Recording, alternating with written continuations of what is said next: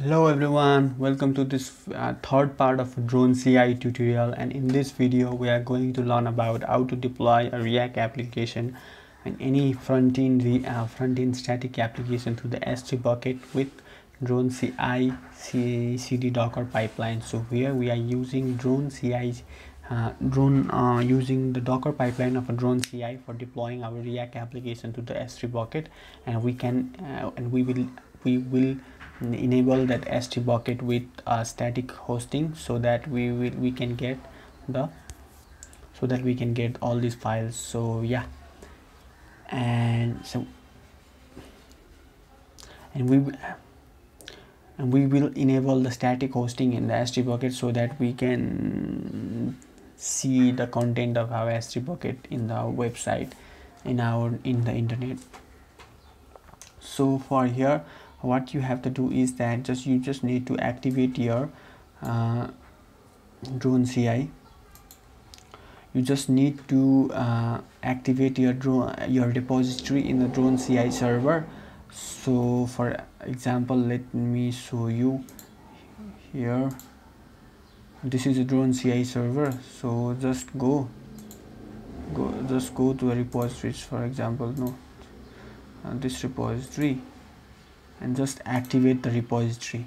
And after activating the repository what you can do is that uh, go to the project directory.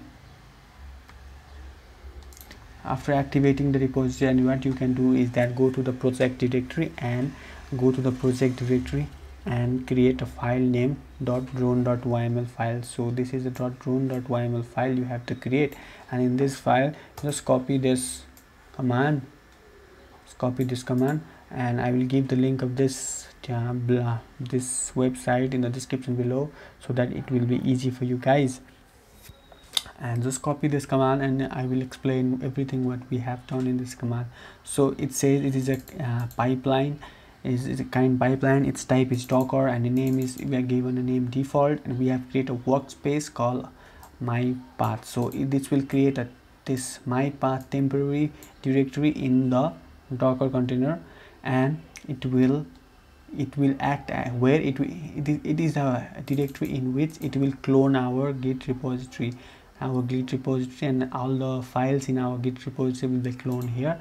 And after this you just need to uh, in, give the steps and testing what you will do.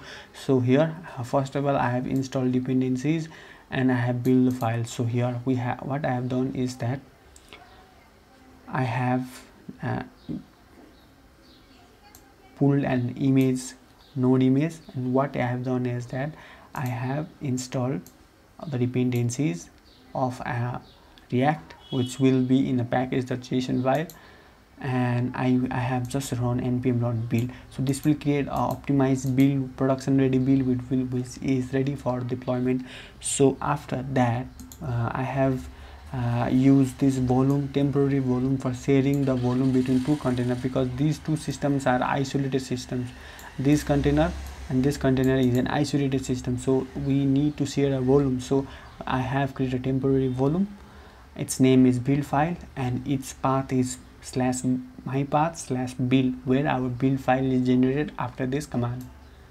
Okay so in the next step which name is upload to s3 i have downloaded an image pull an image name plugin s3 this plugin s3 is an plugin of an drone ci for deploying your application um, content to the s3 bucket. So and after that i have used the shared volume so this is this shared volume i have used in this container as well so that i can get access to this build files inside this container.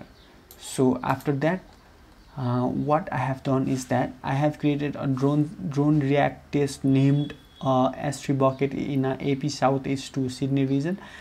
Uh, i have to create it in my aws account and uh, let me show you as well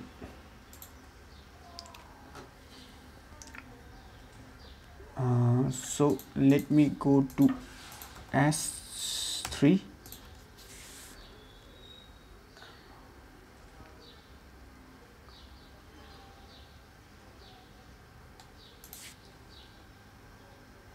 so here you can see drone, re drone react test.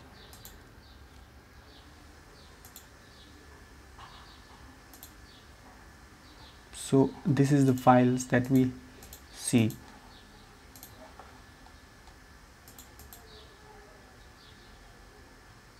Okay. So this is the file that is deployed. Uh, this is the uh, uh, this is the s3 bucket.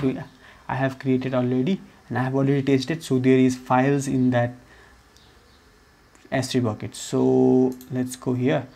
And so uh, another thing is that give the name of the bucket that you have created and the correct region of the bucket. Since although the bucket is a globally accessible bucket will be created in a certain region so first see the region and create and give the region of the bucket and give and you should give an access key and a secret key of your aws credentials in the secret secret of your repository. So since go. Since i am using this this repository drone react test and in the settings uh, i have activated so activated the repository and in the this secret part just you need to give access key and secret key. You need to just give access key and your value and you just create add a secret then secret will be added here. In this way you have to add access key and secret key of your aws account which have an access to full which have read write or some uh, good privileges to privileges privilege to s3 bucket so after that you uh, you can use these secrets in uh, in your drone.yml file as this. So uh, in in case of access key we are using from secret and this is the access key. This should be same as this. Alright. And after that we are using a secret key we are using from secret and this secret key. This should be same as this. So this should be same as this and it should be given in the settings of your repository in your drone CI UI drone CI gives you a UI where uh, uh, each repository will be there and uh, after activating your repository for drone CI it, you need to give a secrets here because these secrets should not be pushed in github and it is very very much uh, it is need to be kept very much securely by yours by you only because if anyone have access of your secret key and access key they can do anything to with your AWS account and they can and make your account bill a lot of money. So yeah after that uh, you can here is a here is a parameter called source and target. You just need to give the source and targets. Here you have to give slash double star and slash star because this will uh, copy the directory inside your directory directories as well. So if you do only my project slash build slash star then it will only copy the static files not the directory not the directory inside the inside this this build file. So since there is a static directory which is inside this build file it won't copy it will copy only the file.